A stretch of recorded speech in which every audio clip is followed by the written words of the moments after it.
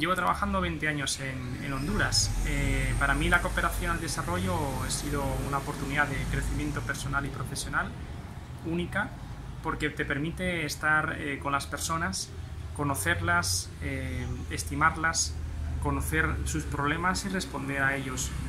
Y ahora mismo, con este momento de crisis que, vivimos, la cooperación se vuelve mucho más esencial y vital para unos y para otros, el tener una respuesta frente a esta crisis, el plantear soluciones y afrontarlas juntos. Por eso para mí la cooperación es la solución. Mi nombre es José Rodríguez Parmo y trabajo para CESAL.